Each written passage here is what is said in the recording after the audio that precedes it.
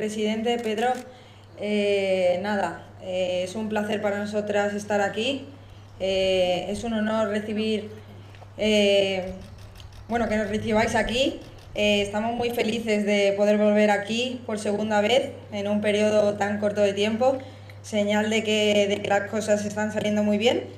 Y, y nada, nosotras también estamos muy contentas por haber llevado a España donde merece y, poco más que decir. Eh, agradecer también todo el apoyo que, nos dais, que, estáis dando al, deporte femenino en general, que siga siendo así y que, y que ojalá vengan muchos éxitos más para el país.